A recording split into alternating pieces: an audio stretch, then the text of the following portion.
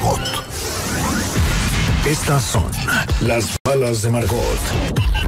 Una misteriosa mujer, bueno, no es tan misteriosa, pero no importa. Una misteriosa mujer dice que José Eduardo Derbez es bisexual, a lo que José Eduardo dijo, hazme la buena, así tendría más mercado.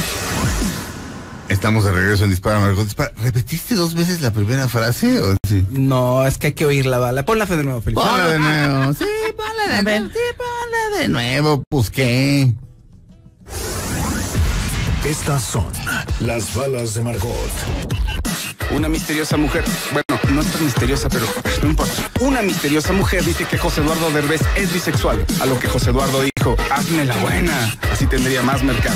Ay, es súper listo este niño. Ay, no, es lo mejor de la Sí, serie sí, esa sí, que sacaron, es- ese tipo es lo Desde niño mejor. una vez estábamos en una comida de Viva por Elena que terminaba ahí en, en Arroyo y estaba el chiquitito y no sé qué quería dinero y a todo mundo ya le había sacado este pero como era muy tierno y simpático Claro, claro. entonces pues lo adorabas y todo entonces decía la mamá ¿qué? ya traía un chorro de dinero de todas las mesas de todos ya les había quitado Taloneado, ajá. como dice el fan. En el muy, show, muy abusado en el reality sí es una estrella, o sea, te, te cae muy bien. Es O que sea, es el un tipazo. Prácticamente es como el, el punto ahí un poquito, como el pivote ahí, todos los demás. O sea, Aislinn trae como una especie como de depresión ahí, trae como... es que pues como de energía primeras- baja ¿no? Pero fíjate Sí. que más bien como que trae como ya ciertas, o sea, le ves como que tiene a lo mejor ciertos problemas ya de casada y tal. No es que sean ya catastróficos, obviamente son de ya de, de que te ves diario y que es forzoso, pues. Pero este hombre es lo más vaciado de toda la serie. En serio, yo, yo, o sea, yo me la pasé bien y mucha gente ahí, de, ahí donde los ven ahí de los cultos y así me dijeron, qué padre está la serie, ya me la aventé toda. Y la verdad es que está muy bien hecha. Está muy divertida, ¿eh? Y está muy, la producción, todo, o sea, la línea, como toda la, así que dijeron que la Biblia de, de eso, te lo juro que está súper bien Ah, hechicito. O sea, sí, bueno. sí lo has visto y sí le ves como cada, cómo tiene que llevar como la trama, todo, todo lleva un guion y ya. Yo lo iba a ver. Pero Y el otro, no, te juro, te- estaba yo decidido el viernes, así de- Digo, hay gente a la que incluso le dieron el viernes para que se fuera de, de, de- De puente. de- para Ah, que sí, agarrara sí. un puentecito. Estaba yo con el Siempre pasa que- algo ahí, ¿ves? ya está- exacto.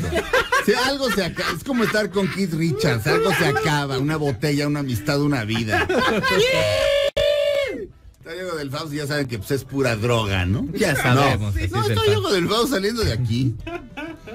Este, y decidimos compartir un Uber y estaba yo decidido a ver la serie de Derbez. ¿y qué pasó? Este, el señor del, del, del transporte que acabo de decir, porque creo que es Gold, sí, sí es Gold, decir, este, de- de- de- del sistema ese de transporte que le compite a los taxis y los taxis se enojan. Sí, ok. ¿Te acuerdas que traía su Waze con la voz de Derbez? Ah, sí. ¿A Sí, poco? así de, Como del burro. en de- 200, en 200 metros das vuelta a la derecha, cabrón. Exacto. No, eran, eran todos los personajes, Todos los de Derbez. sí, sí, Y dije, no, cuando llegué a mi casa, ah, de hecho, le digo, ya aquí nos salimos.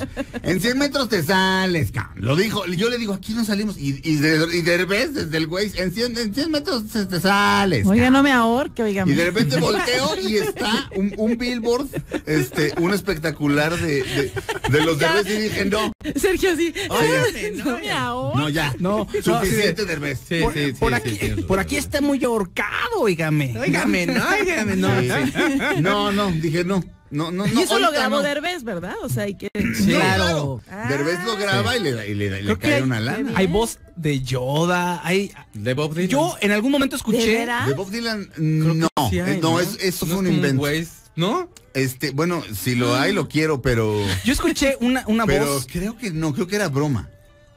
O sea, porque la voz de Dylan es. la voz- o sea, probablemente sea una broma, porque la.